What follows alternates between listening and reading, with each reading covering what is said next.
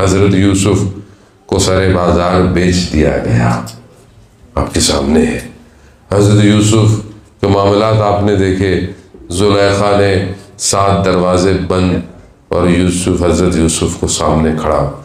मगर हज़रत यूसुफ ने ये नहीं कहा कि ये मैं कहाँ पर जीना? कहा, परवरदिगार, तेरी पना चाहता हूँ। कहा, यूसुफ, मुड़ जाओ। यूसुफ मुड़ गए। बंद दरवाजे खुल गए। आयतुल्ला जवाज आमी गालिबन फरमाते हैं कि जो मिस्र में खुदा था, आज भी वही खुदा है।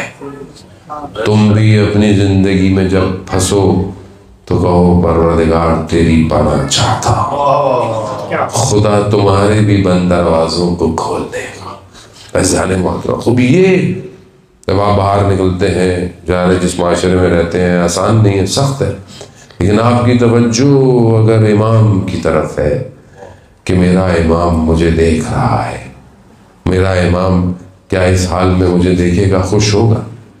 क्या मेरे अमाल जो मेरे इमाम के पास जा रहे हैं, इमाम खुश होगा? अगर आपको अपने इमाम से मोहब्बत हो जाए तो फिर तलवारें हों, शोर हो आतिश हो कुछ नहीं कर सकते। क्योंकि इंसान इश्क के विलायत में जल जाता है, मगर अपने आप को दूर नहीं करता। बहरहाल यही दुआ है कि परवरदिगार, तू रहमान है, तू रहीम है, तू करीम है। तेरे खजानों में किसी चीज़ की कमी नहीं परवरदिगार। तू जिसे अपनी बारगाह में बुलाए, तू बुला लेता है। तू जिसे चाहे हिदायत दे, हिदायत देता है।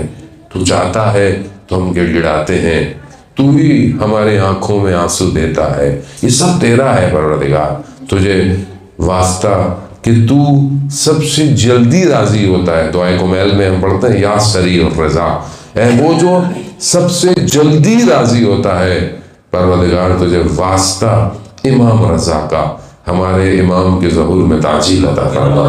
हमें उन नासरों उनके मददगारों में शुमार फरमा।